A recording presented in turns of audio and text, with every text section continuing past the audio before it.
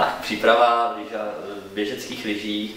Začneme stylem na klasiku, protože ten je nejpoužívanější a mělo by se jim začínat. Takže ta klasická lyže, eh, pokud není nová, jako tahle používaná, tak má na sobě nějaký vosk, eh, který jsme používali na jízdu.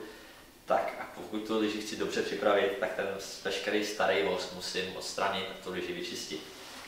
Starý vosk odstraníme škrabkou. A takhle.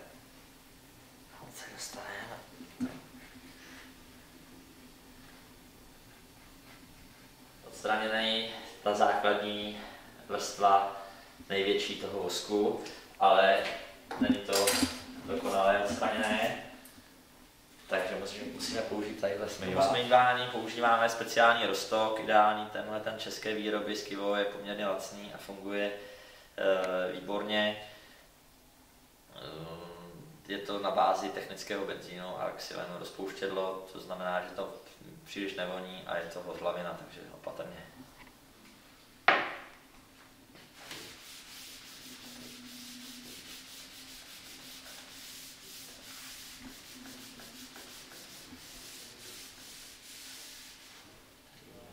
Ještě nějaký.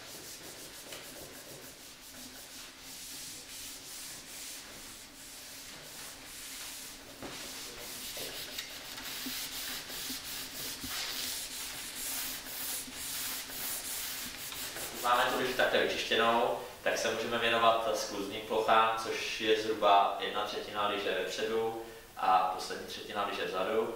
A tyto části bychom měli namazat tak, aby nám to co nejlépe jelo. Ty nám nepomáhají v odrazu, ale v tom, aby nám to jelo. To se děje parafínování a ten parafín se do té lyže musí zažehlit. Takže si připravíme žehličku, může být speciální nebo klasická. Eh, Teploty jsou většinou na tom parafínu napsány. Eh, Je to někde v rozmezí od 110 do 130 stupňů podle tvrdosti toho parafínu. Takže si vypneme liži stojanou někam. Ještě před tím vlastním parafínováním, než se nám zahřeje žehlička, je dobré tu skluznici připravit ještě kartáčováním. Zase já mám speciální kartáč, není to až tak důležitý. Jde o to tu skluznici vyčistit co nejlépe, takže jsme ji vyčistili tím snívačem a teď je to dobré ještě překartáčovat. Takže ve směru jízdy překartáčujeme lehkým tlakem, překartáčujeme ty skluzné zóny. A se nám i mechanicky ta skluznice srovná a je připravená. Ale domácí učení tvrdosti lyže nebo uh, učení té zóny na stoupací vosk je, že si na nějaké rovné ploše, mohou to být dveře, nebo tady koukám ping-pongový stůl, položíme si lyže a postavíme se na lyže oběma nohama rovnoměrně a ta lyže má určitou tvrdost, takže se nám vynese ta oblast pod vázáním. Vezmeme co nej, nejtenčí papír nebo nějakou folii a co nejdále ji podsuneme, tak eh, kam ještě lze podsunout, tak to je ta zóna na mazání stoupacího vosku. Tam, kam už to nepodsuneme, tam, kde už to nejde, ta lyže pevně drží na zemi nebo na podložce, tak to je ta zóna pro ty parafíny, které teď začneme teda na tu lyži nanášet. Vrstva toho parafínu, eh, protože jak dále uvidíme, ten parafín budeme eh, z té lyže odstraňovat, tak eh, je pouze taková, aby nám ta žehlička volně jezdila po té lyži a nemusí být, nemusí být víc, musí tam být nějaká extra vrstva, protože tu stejně odstraníme, kdyby nám z té lyže skapal. Tak a pak teda ten nanesený parafín rozžehlíme.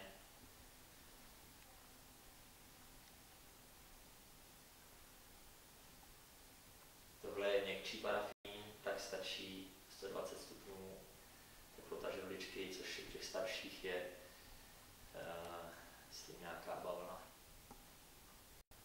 Že teda na celou plochu že se dostane a ten parafín, že je teda v tekuté podobě a postupně nám chladne za tou žehličkou a tuhne.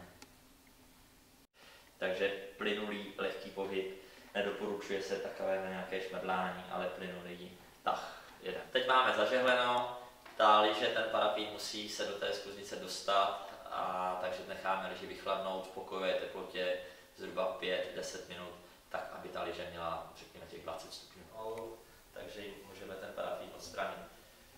Ten parafín vlastně slouží k tomu, aby nasytil spuznici, po parafínu se nejezdí, jezdí se po nasycené spuznici s parafínem. To znamená, veškerý přebytek tého parafínu, co nám zůstal na ploše té liže, tak musíme odstranit. Napřed se to seškrábe a pak se to překartáčuje ještě.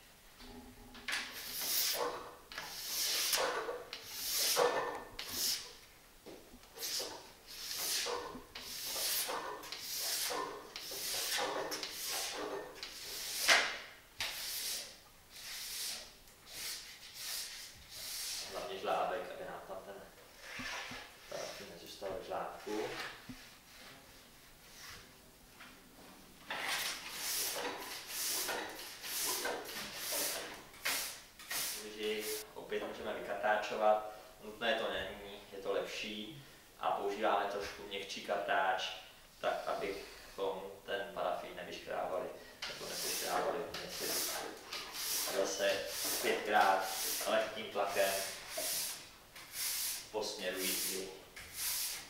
Tak, tím máme ošetřeny teda skluzné zóny vepředu vzadu. Nyní uh, tu stoupací zónu nebo takzvanou komoru. Ideální je, pokud ji udržujeme během teda používání trošku drsnou, tak aby nám tam lepší držely ty stoupací vosky. To uděláme. Musíme znát přesně velikost toho té komory, tak aby jsme si neškrávali na liži tam, kde po ní chceme jezdit, ale tam, kde bude nanášet ten stoupací voz, tak je lepší mít skluznici takto zesněnou. Teď jsem použil modrý, to znamená, to se předpokládá, že venku je minus 4, minus 5 stupňů a je to to nejlepší lyžování. Pokud jsou teploty kolem nuly, používají se opět tuhé vosky, ale trošku měkčí, to znamená, ta barva tam jde většinou do červená.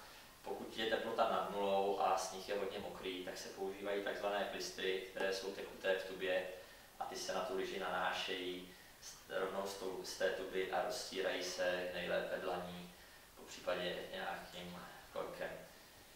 V současné době jsou velmi populární ještě typy lyží, které mají takzvanou mechanickou protiskluzovou úpravu a tam se stoupací vosky nepoužívají a pouze se teda využívá té mechanické úpravy tzv. šupinek eh, té liže podvázání. Tam naopak ta liže by měla být bez vosku a co nejčistší, aby ty hranky nebo ty eh, protiskluzové plochy byly co nejostřejší a nebyly zanesené špínou a fungovaly na nám.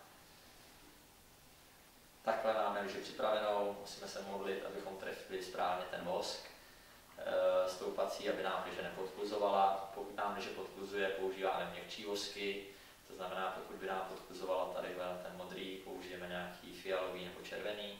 Pokud by podkluzovala i na fialový nebo červený, použijeme klister. Naopak, pokud eh, se na liži nalepí sníh nebo namrzne, tak musíme použít prčí vosk, takže jdeme v té škále naopak modrý až potom třeba zelený. Tak teď bychom si ukázali ten druhý typ vosku, teploty nad nulou, pokud je sníh starý anebo hodně mokrý, takzvaný klister v tubě. Tam opět ho nanášíme na tu stoupací zónu, s tím, že ho vytlačíme z tuby v přiměřené teda vrstvě síle, ukážeme si jenom na kůzku liže. Samozřejmě, že bychom takhle to nanesli na obě dvě části, ale důležité pak tady je to rozetření, protože takhle by nám to nejelo, tak musíme ten vosk dlaní do rovnoměrné vrstvy rozetřít po celé ploše té liže.